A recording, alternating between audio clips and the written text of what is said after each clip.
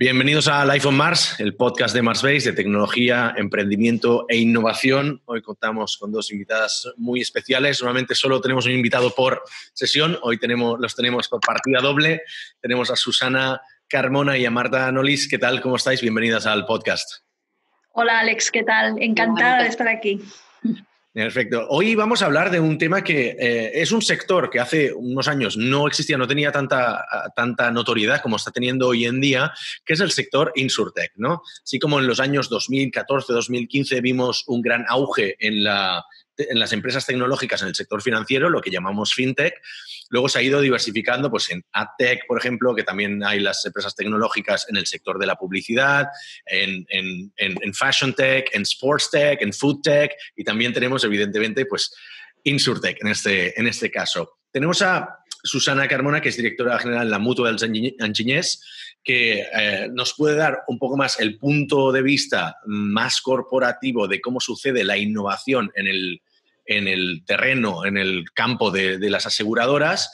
Y luego Marta, que como, responsable de Axel Grow, como CEO y cofundadora de, Axel Grow, que ahora nos contará un poco más qué es, nos dará más el punto de vista de las startups. Entonces, ¿os parece? Vamos, vamos a hablar eh, primero, Mutuals Engineers, Axel Grow, si cada una quiere dar eh, un, minuto de pitch, de elevator pitch, para, dar a conocer de qué es, para situar a, nuestros, a nuestra audiencia.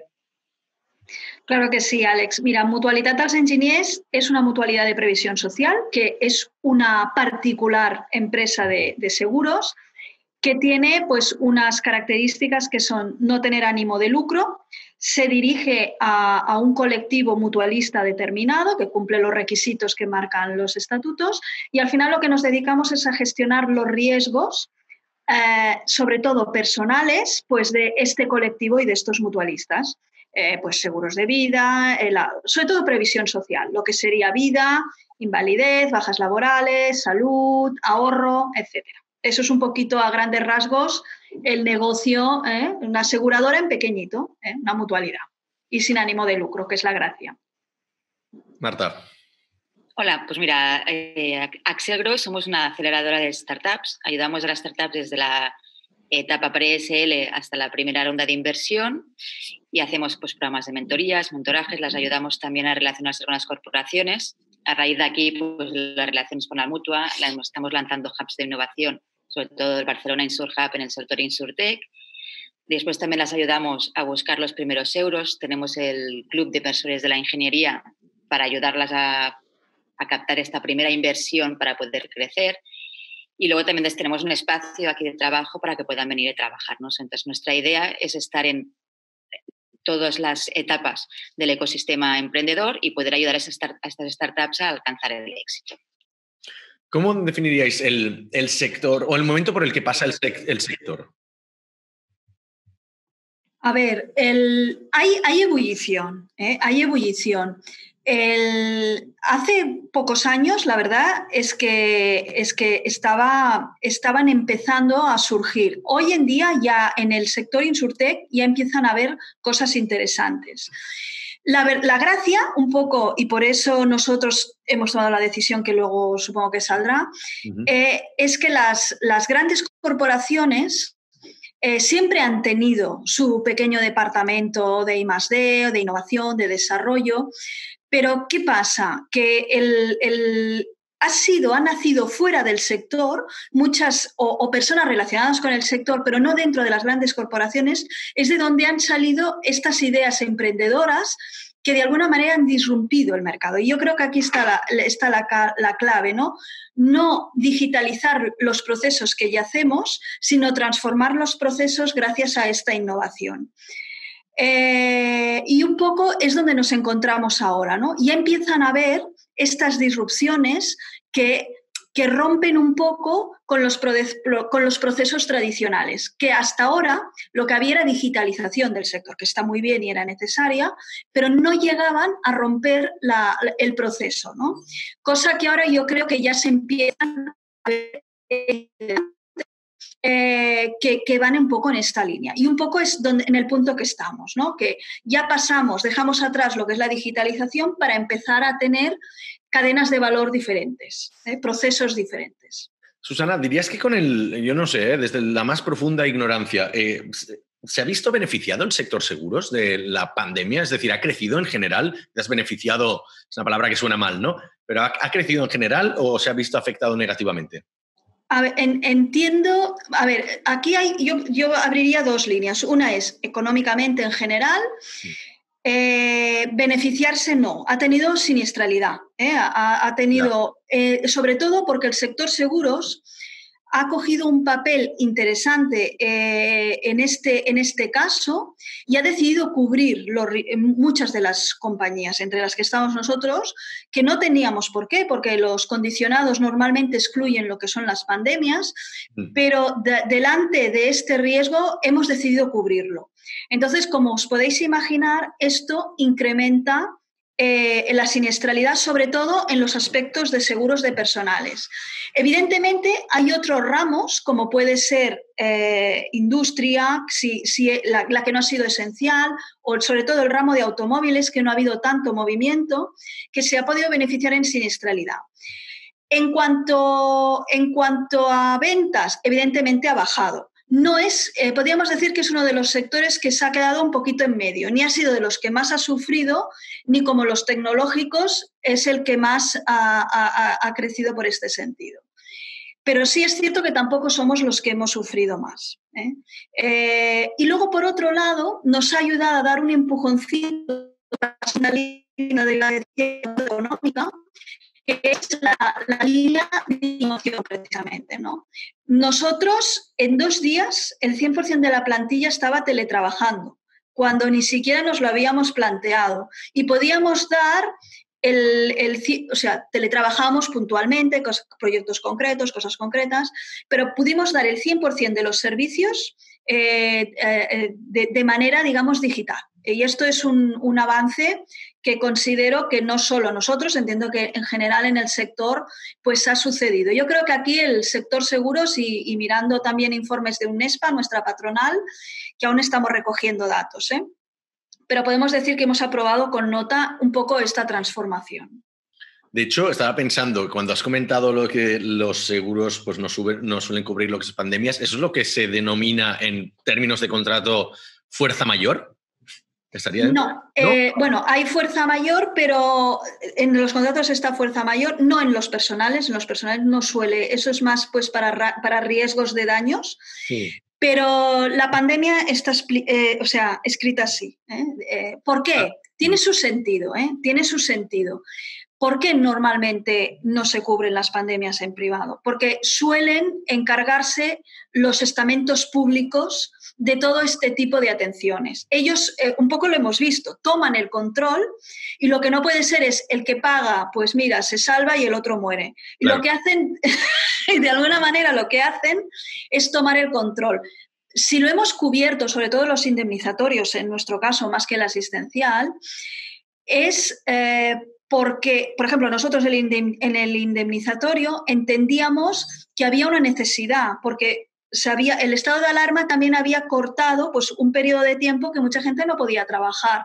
Entonces, si encima estabas enfermo, ostras, pues eh, tenía derecho a esta prestación. Y en cuanto a lo que es el servicio sanitario, al final la sanidad pública tomó el control de la privada, de alguna manera, con lo cual, ¿qué tienes? De pandemias se excluyen de los condicionados, porque es el Estado el que toma el control de del Estado, la, administración del organismo X que, podría ser Europa, en este caso fue, fue a nivel nacional. Vale. De hecho, no sé si te contesto. Me no, me contestas fabulosamente. O sea, es eso, depende. Hay, contratos que lo explicitan, ¿no? Que es una, una cosa de, fuerza mayor y algunos que no.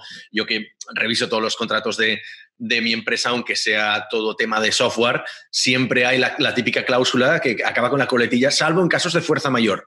Pero muy pocos contratos explicitan lo que es la fuerza mayor. Entonces, claro, te tienes que remitir a la definición de, fuerza mayor que pueda haber en, pues no sé, en algún, algún estamento jurídico o en Wikipedia a veces, ¿no?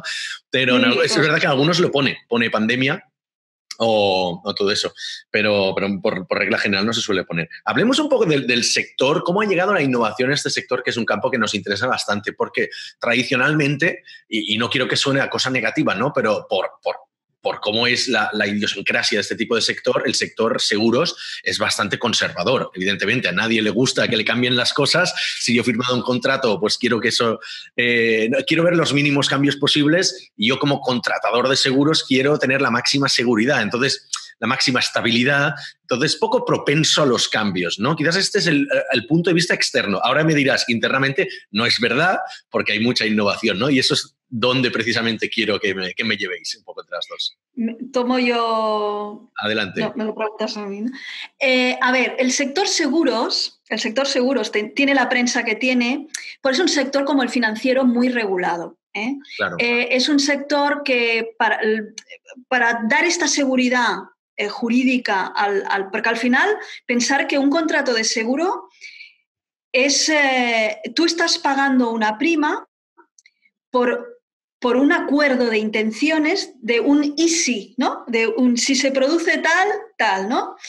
Eh, entonces, tú de momento pagas esto por un papel, ¿no? Para decirlo de alguna manera. Entonces, ha de haber una seguridad jurídica aquí detrás. Está seguro quién ha firmado, eh, cómo se cumplen estas cláusulas. Entonces, toda esta seguridad es primero enemiga eh, de digitalizar, de innovar, porque también eh, las leyes no, no, nos han acompañado mucho a la hora de, hacer la, prueba, ¿no? a la hora de probar los diferentes contratos, las diferentes interacciones. Pero gracias, luego Marta quizá nos puede ayudar, gracias a todas estas iniciativas emprendedoras, Todas estas cosas han ido evolucionando y han hecho que la administración sea más flexible a la hora de poder digitalizar todos estos procesos. Pero tampoco me voy a quitar culpa. Las entidades aseguradoras también son, sobre todo las grandes, son grandes, son entendamos, el programa de gestión que hizo, me lo invento, ¿eh? la compañía X multinacional aseguradora costó no sé cuántos millones hace 10 mm, años. Ostras, cambiar todo esto no es fácil. Ya no tanto por la inversión, que, puede estar justificado eh, por los beneficios que te puede dar, sino también por todas las piezas que hay que tocar. Ya no solo para esta decisión de imagínate los comités, todas las personas que intervienen. O sea, has de estar muy seguro. Eso las actualidades no nos pasa tanto. Somos más pequeñitas, el poder de decisión es más sencillo pero ah, en contrapartida no tenemos los recursos que pueda tener una gran multinacional, ¿no? Tenemos unos recursos mucho más limitados. Por eso tenemos que buscar fórmulas pues, que, nos hagan avanzar, no quedarnos atrás eh, y, poder innovar también en, en, nuestro sector. Pero no sé si te he contestado. Un poco es la regulación que no ayuda y que, y que las, sobre todo las grandes corporaciones, que son las que tienen la capacidad de mover todo esto, pues son pesos pesados y a la hora de hacer cambios de estructura tan grandes como puede ser digitalizar o, cambiar una cadena de valor es complicado. Claro, pero hoy en día hay una opción que no existía hace varios años, que sí ahora es donde entra aquí en juego Marta, que es apoyarse o apalancarse en el sector startup, ¿no? Que igual pueden ser una buena manera de probar nuevas líneas de negocio, probar probar productos de manera externa o incluso entrar en ciertos sectores o edge cases que no estén regulados todavía y por tanto no, ¿no? No sé, Marta, si me estoy metiendo en la camisa de once varas o... el beneficio que tienen las startups y por eso todas las corporaciones y grandes corporaciones, como, que, como dice Susana, les cuesta mucho los cambios, y tanto burocráticamente como todo, ¿no? Mover algo en una empresa tan grande es muy difícil, ¿no? Y hacer los cambios de forma ágil es muy difícil. Entonces aquí es donde vienen los beneficios que aportan las startups. ¿no? Las startups son empresas pequeñas, muy ágiles, utilizan todas las metodologías Agile, entonces, que cambian, mejoran en, momentos, si ahora voy por aquí, ahora voy por allá, entonces pueden aportar esta disrupción pues mucho más fácil ¿no? que no, que no una, una corporación y ahí es donde tienen el beneficio las corporaciones. Y aparte otra cosa que se benefician las, que tienen las startups es que hoy en día todo, el mundo es 100% digital, ¿no? Y quieren hacerlo todo 100% digital, al momento, fácil. Y estas startups lo que hacen es centrarse en el, en el customer journey, ¿no? O sea, cliente en el centro de todo, qué es lo que le pasa al cliente, cuál es su problema y ahí le busca la solución. Y hacer estos cambios a las corporaciones también es, es mucho más difícil. Y aquí la startup pues es donde aporta mucho valor a las corporaciones igual que las corporaciones también les aportan a la startup, ¿no? porque el conocimiento del sector, el conocimiento del mercado y la, llegada al mercado es mucho más fácil para una corporación. Entonces, aquí es la gracia que juegan estas relaciones entre las startups y las corporaciones, en donde las dos ganan y las otras sacan un valor, ¿no? Claro. Y, quizás también hay un papel que juegan quizás los, los, actores terceros, ¿no? Es decir, yo, por ejemplo, hay, aunque no esté enteramente em, dentro de, vuestro campo, pero sí que hay muchas cosas, por ejemplo, hay un, caso que es particularmente doloroso a la hora de crear una empresa, que es ir al notario. ¿no? O sea, ¿por qué tiene que existir todavía en sí, pleno siglo XXI esa figura? Y ¿qué te asegura que una persona lo va a hacer mejor que, una máquina? ¿no? Porque quizás una máquina hace que el proceso sea más rápido y que haya cero fallos y que, pero bueno, es algo, quizás es regulación, quizás es algo de también, es un, es un sector complicado y poco opaco, ¿no? El de la notaría. No sé si eso también se da en, vuestro, en vuestro sector, en el que también quizás los responsables se agarran a algo que siempre ha existido así, pero que la irrupción de gente Mm, con un perfil más tecnológico, otro tipo de formación, quizás eh, otros soft skills y más familiaridad, más naturalidad con, trabajar con startups o con procesos innovativos, puede cambiar el sector. ¿Se da también la figura de como el, notario dentro del, del sector seguros para que nos entendamos internamente en la empresa? Quien quiera puede contestar, ¿eh? De las dos.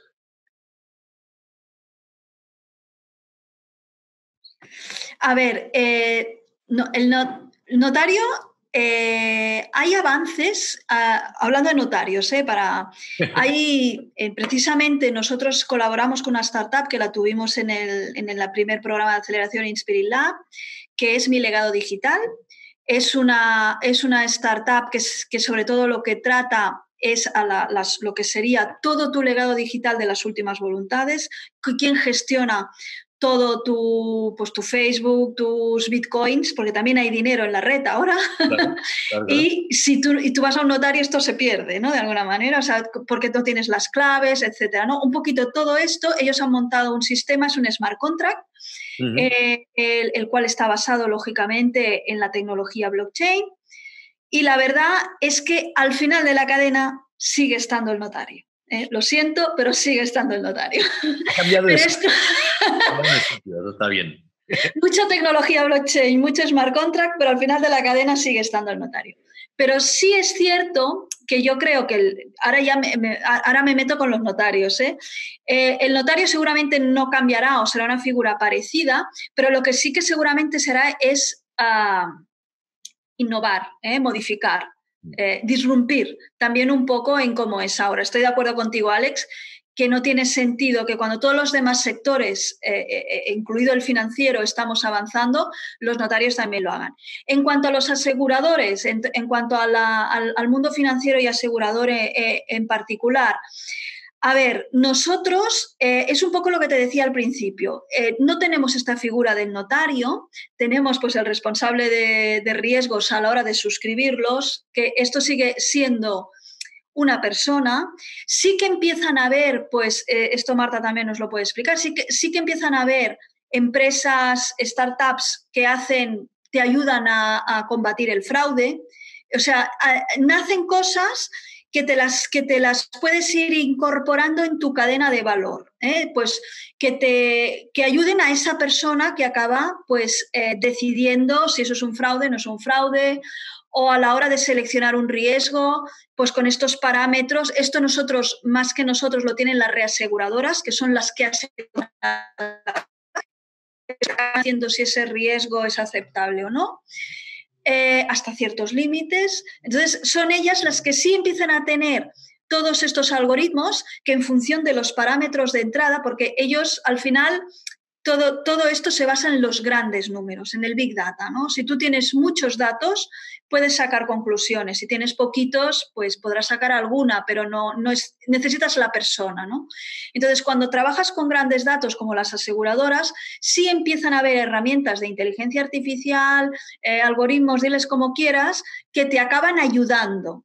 Eh, otra otra de, de, las, de las aplicaciones eh, que también tuvimos en nuestra, en nuestra aceleración eh, lo que hacen son teleperitajes, pero con un módulo de inteligencia artificial que ya ayuda al perito a calcular el siniestro. Es decir, eh, empezaron con autos, el, tú vas, el, cliente tiene la aplicación, que, la idea es que la tenga a través de la compañía, enseña el coche, el perito no hace falta que se desplace y por las imágenes tiene un módulo de inteligencia artificial que es capaz de calcularle al perito una propuesta de valor. ¿eh? Una propuesta, pues este, arreglar este coche, sea 127, eh, que se le ha roto no sé qué, no sé cuántos, pues es tanto. ¿no?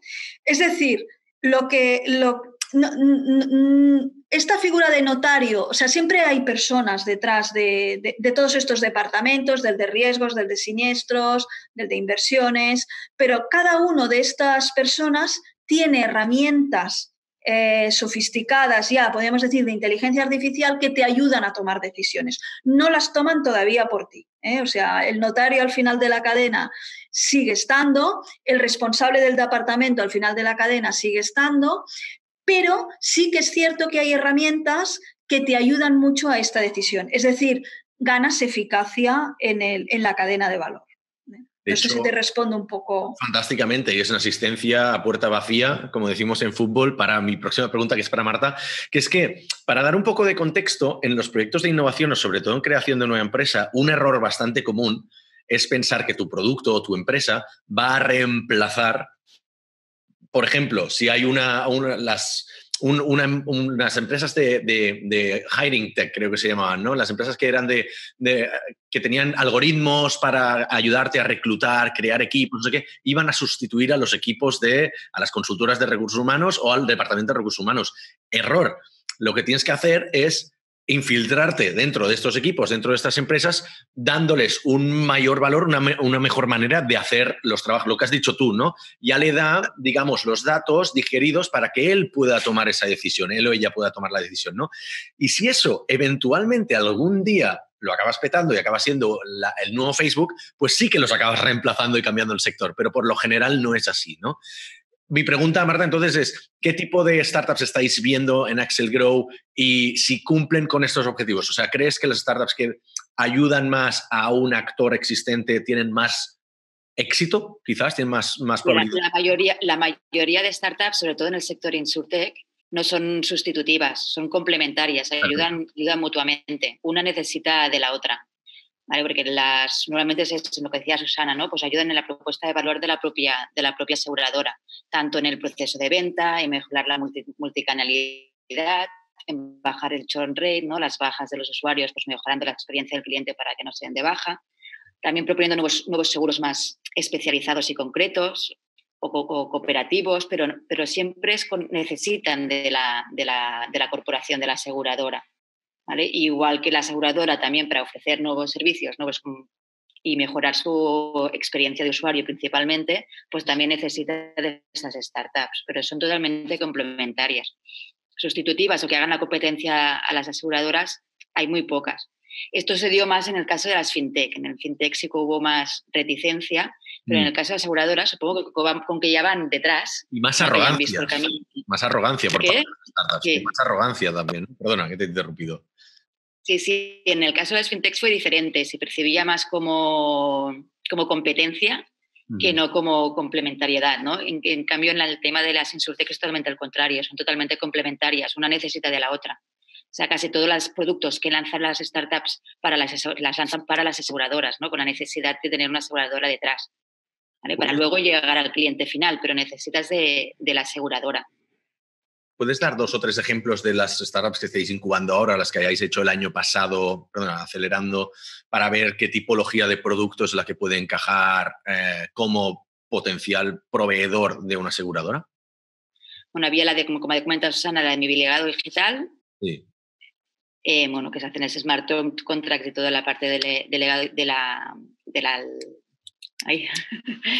la, de la, parte digital, del testamento digital de la, de la persona el de, el de Gestec, estas eran las más aseguradoras. Luego también había una parte más de FinTech, que era más ayudar a hacer con, con los... O sea, tú te marcas unos objetivos de vida, ¿no? Y entonces pues, con esos objetivos de vida te vas marcando qué tipo de ahorro o qué tipo de tienes que ir cogiendo para conseguir, no sé, quiero conseguir un coche, pues tengo estos ingresos, pues qué es, es lo que tienes que hacer para conseguirlos. Entonces te vas marcando estos objetivos, que es una empresa que se llama Finduit, pero está en un proceso aún más, más incipiente.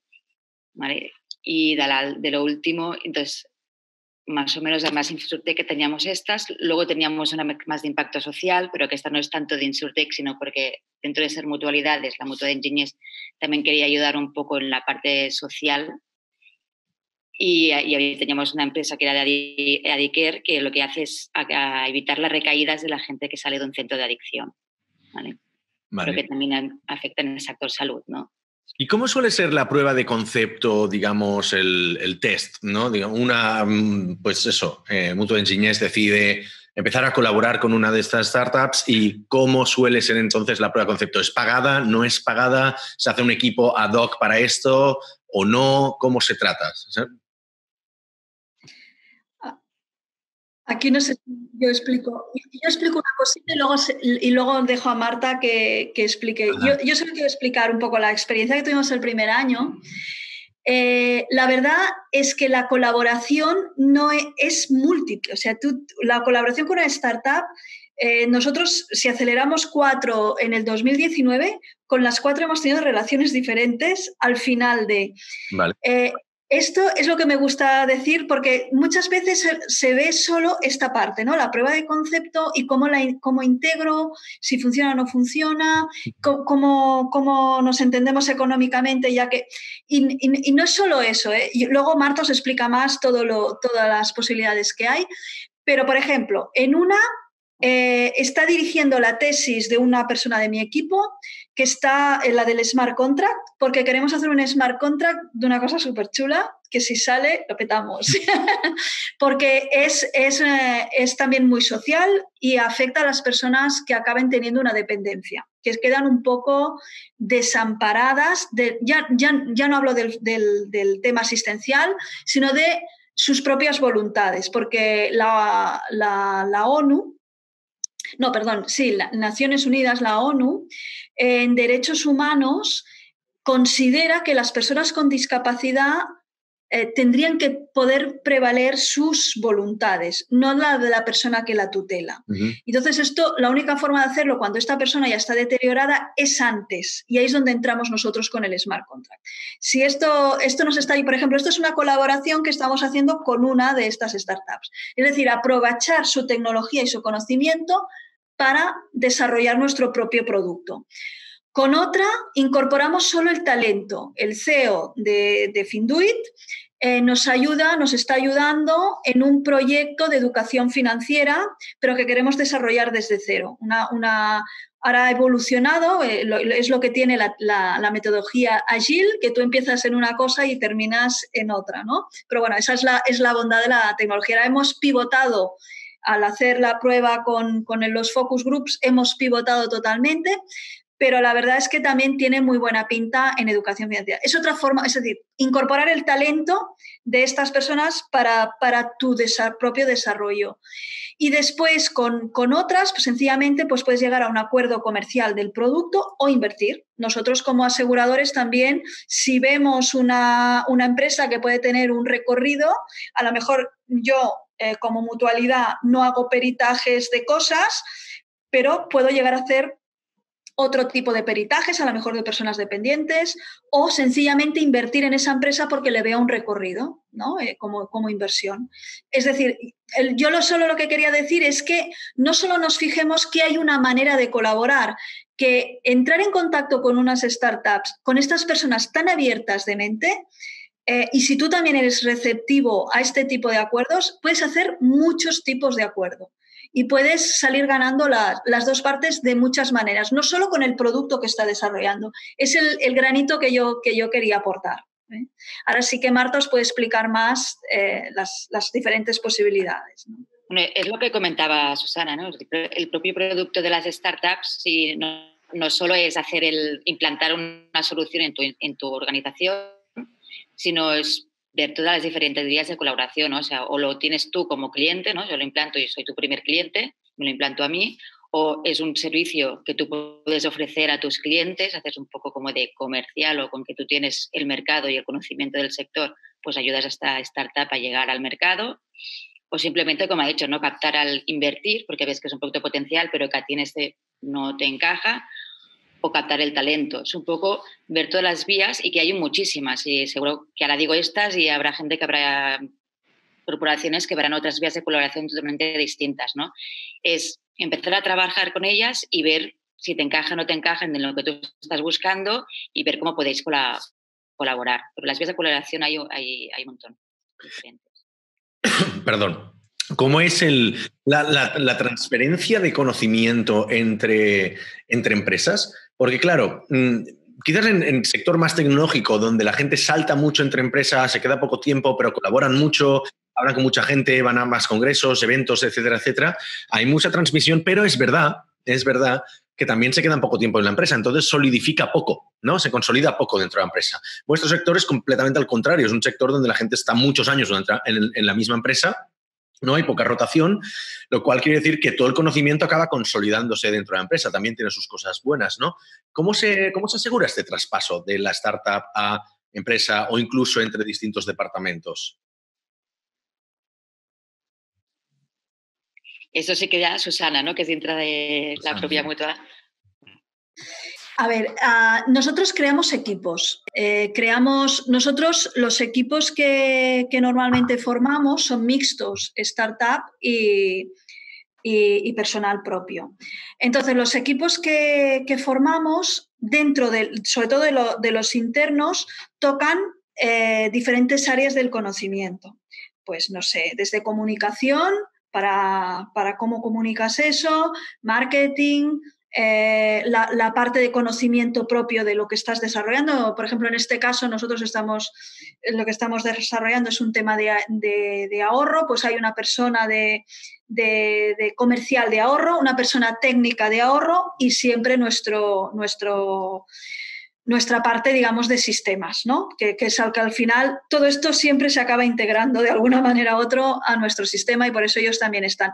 No quiere decir que el equipo trabaje siempre en todo, vayan todos juntos, ¿no? Vamos, es decir, el equipo se engrana en función de, un poco aquí quien lleva la voz cantante es la startup. Eh, Siempre hay un director de proyecto que es el que va poniendo un poco, poco el orden, pero es, es el producto de la startup el que se tiene que integrar con nosotros. Entonces aquí marcan un poco el ritmo, porque son, al final es ese producto el que se tiene que incorporar aquí y van marcando un poco el ritmo. Pero eh, las diferentes personas de nuestro equipo son las que van pues reuniéndose con ellos para ir creciendo, ir integrando eh, esa parte con, nosotros. Y, bueno, la verdad es que es lo lógico, ¿no? O sea, tienes que montar un equipo que se encargue de esto. Y eh, esta agilidad de montar equipos, nosotros la, hemos ido adquiriendo un poco gracias a esto también, ¿no? Porque antes es otro problema, ¿no? De, estas grandes corporaciones, pues que cada uno tiene su parcela y, juntar parcelas no siempre es fácil. Por suerte, en una mutualidad que somos mucho más ágiles en este sentido, porque no somos tan mastodónticos, pues eh, estos equipos son, se, gestionan fácilmente. No sé si esta era un poco tu pregunta, Alex. Sí, y de hecho una pregunta para, para, Marta dirigida, porque es que desde el punto de vista externo, y yo que lo veo como inversor, hace, hace varios años tuvimos el gran boom de poner blockchain en todos los decks, ¿no? en todas las propuestas de, inversión. Entonces eso atraía a todos los inversores. Desde el punto de vista externo, parece que el sector de seguros tenga que, tenga que ser que todo pase por blockchain. ¿Es mito o es realidad? ¿Habéis visto que todavía sigue tirando por blockchain o ha desaparecido de, de las propuestas que os llegan?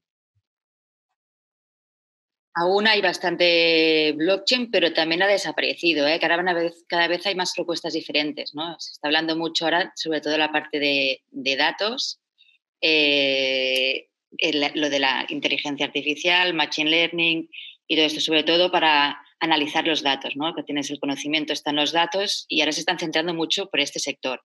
Y también se está centrando mucho por la parte de ofrecer nuevos productos, ¿no?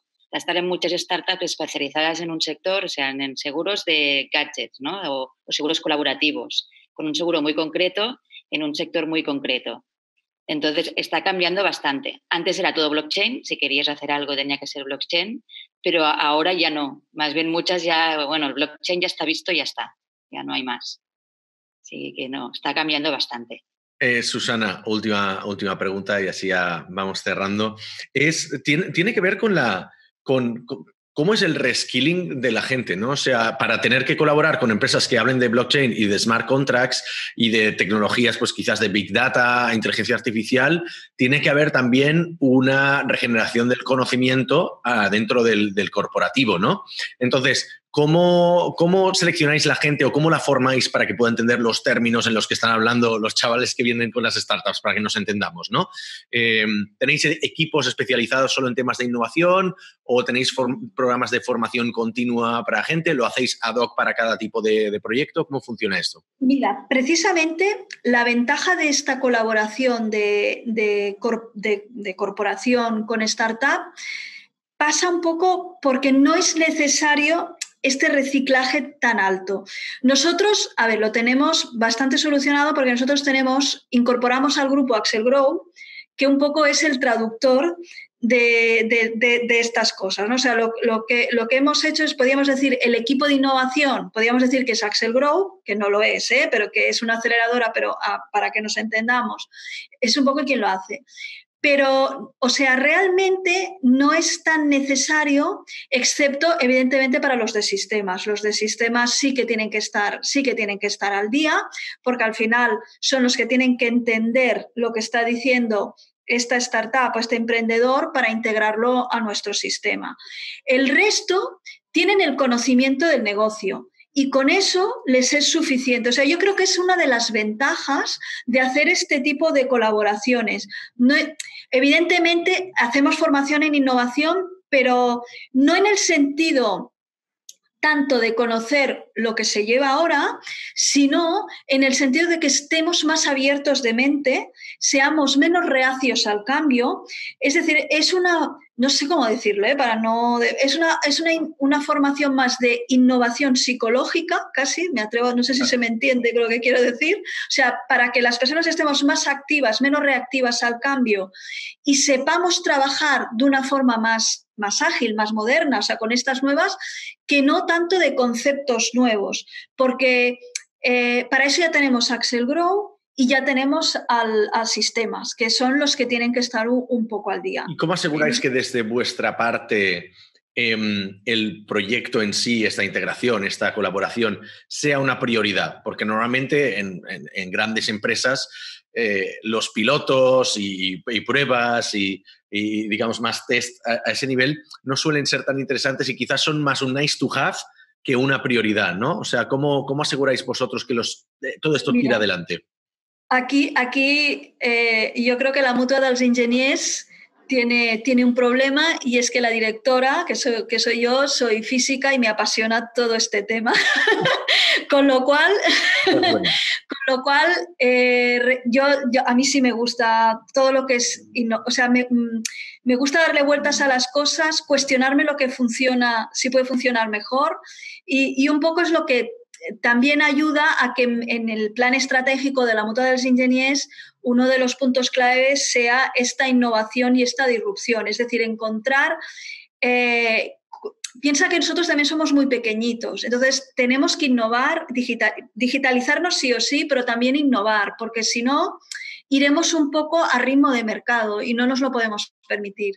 Y por eso esta tesis que estamos trabajando, este proyecto de ahorro que estamos terminando, esta, este, este, esta parte nuestra de educación financiera que algún día verá la luz, es decir, estamos trabajando diferentes campos para poder sin olvidarnos nuestros valores, ¿no? Porque nosotros, al final, no hay un accionista detrás. Nosotros ya nos sentimos orgullosos con que los riesgos de nuestros propietarios, que son los mutualistas, estén bien gestionados, estén ellos bien. O sea, les queremos hacer la vida más fácil y para eso necesitamos innovar.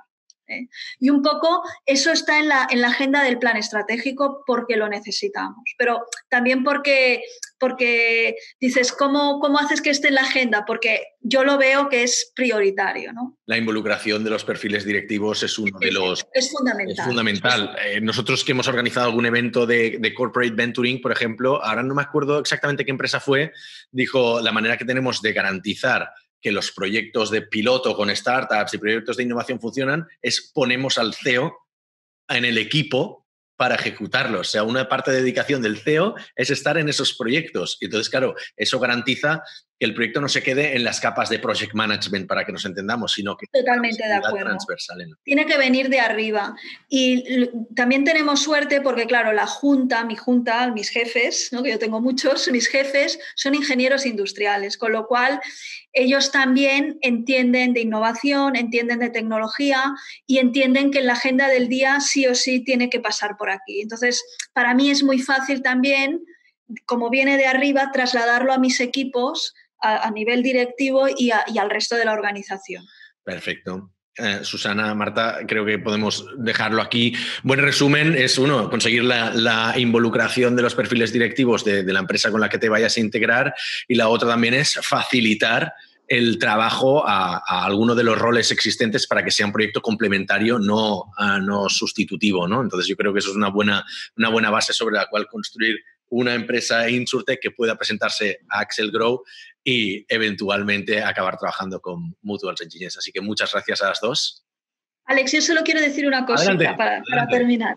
Es que me gustaría decirle a las empresas que no son muy grandes, que, son pymes, que se atrevan a hacer innovación, porque a través de, a través de, estas, de estos acuerdos con startups eh, pueden entrar en hubs, eh, pueden entrar eh, en diferentes eh, ámbitos de emprendedores y pueden empezar a buscar porque no es tan complicado. No necesitas una gran cantidad de dinero para poder hacer esto. Sencillamente es tener ideas, buenas relaciones y encontrar el producto, el servicio de, esa startup.